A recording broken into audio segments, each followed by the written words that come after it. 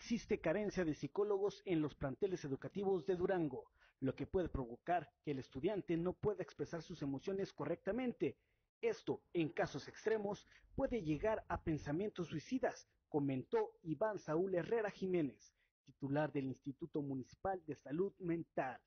Algunos planteles sí lo cuentan, pero una gran mayoría de ellos no. Sabemos que se tiene que reforzar eh, la parte de la plantilla docente, por supuesto, pero sí se hace importante que se tenga que buscar alguna situación donde se pueda apuntalar en este aspecto a los planteles educativos. Precisamente uno de los propósitos del Instituto Municipal de Salud Mental es el acercamiento con los planteles educativos, en, en estos casos donde no se cuente con un profesional de salud, pues que se haga la canalización. Si bien sabemos que es importante contar con un, profesional de salud mental, pues los maestros, los padres, eh, constituyen una parte muy importante de hacer la detección de los casos.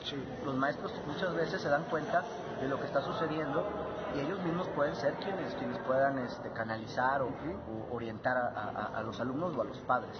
Eh, por eso se hace trabajo con los padres de familia y con los maestros para dar cierta capacitación y sean, eh, puedan diferenciar alguna situación que esté pasando y de ahí poder atenderlo de manera adecuada. Pues los riesgos son, son la parte de eh, empezar a, que se compliquen algunas cuestiones que pudieron haber quedado simplemente en una situación transitoria, ¿no? El ejemplo muy claro, un chico, una chica que está sufriendo bullying.